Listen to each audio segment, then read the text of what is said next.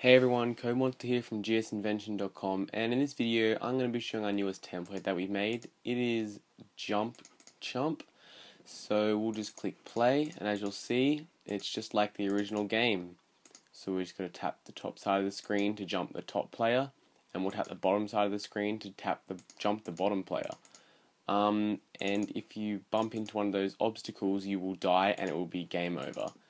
Basically, this template is just the core mechanics of Jump Chump. So there's no art included, it's just what you see in the video right here. So feel free to check this out over at www.gsinvention.com.